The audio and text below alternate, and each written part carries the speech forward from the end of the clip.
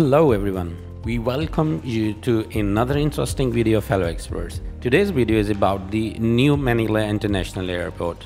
The New Manila International Airport, also known as Bulacan International Airport, is an international airport under construction on the coastal area of Bulacan, 35 km north of capital Manila. The project was proposed by San Miguel Corporation and is set to help decongest Ninoy Aquino International Airport, the main gateway to the capital for air travelers. The proposed airport will be built on a 2500 hectare coastal property as part of an envisioned 12,000 hectare township that features a residential zone, government center, seaport and industrial zone. The 735 four parallel taxiways and two cross taxiways with a minimum width of 25 meter and with multiple exit taxiways and taxi lines will be developed. Vehicle parking will be provided at the ground transportation center covering an area of 148,700 meter cube. Vehicle parking will be provided at the ground transportation center with more than 4,000 parking slots. The new Manila International Airport is a proposed airport that is intended to serve as a second major gateway to Manila and the surrounding areas. The project is currently in the planning and design phase with the construction expected to begin in 2020 and the completion targeted for 2027. One of the primary goals of the new Manila International Airport project is to alleviate congestion at the existing airport which has been facing capacity constraints in the recent years. The new airport is expected to have a capacity of up to 100 million passengers per year, which would make it one of the largest airports in the world.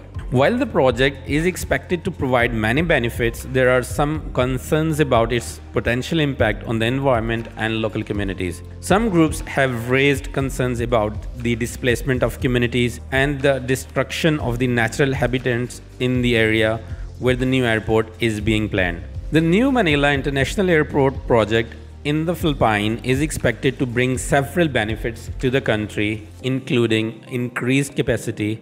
The new airport is designed to accommodate up to 100 million passengers annually, which would significantly increase the country's aviation capacity and support its growing tourism industry. The second benefit offers is improved connectivity.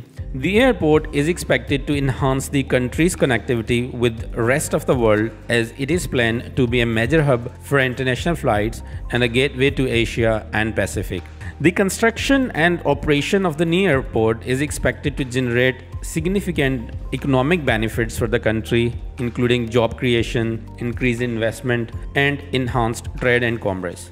The new airport is expected to relieve congestion at the existing airport which has been operating beyond its capacity and causing significant delays and inconvenience for the passengers. The new airport is expected to feature state-of-the-art facilities and technology providing passengers with more comfortable and convenient travel experience.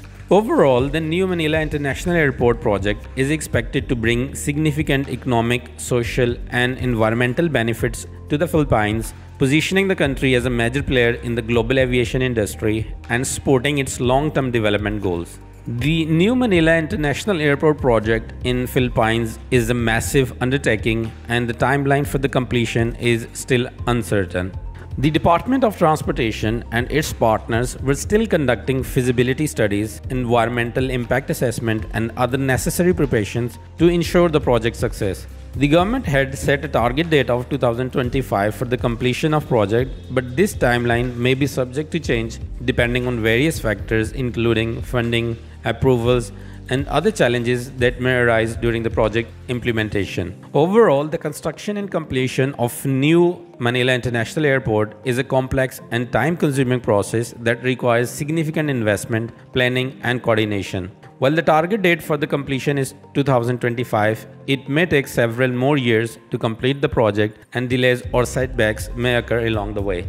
San Miguel Corporation tapped three international firms, Groupe ADP, Meinhardt Group and Jacobs Engineering to build and design the airport.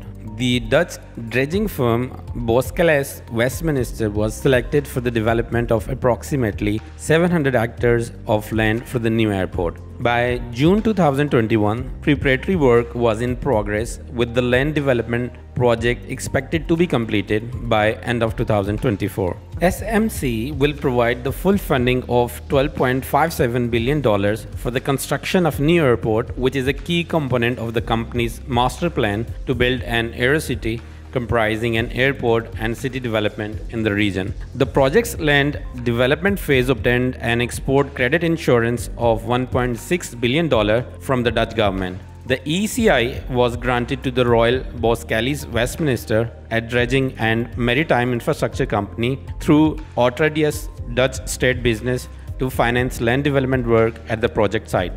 According to the news report from Feb 2021, the estimated budget for the new Manila International Airport project is approximately $12.57 billion. That's all for today. I hope you will enjoy the video.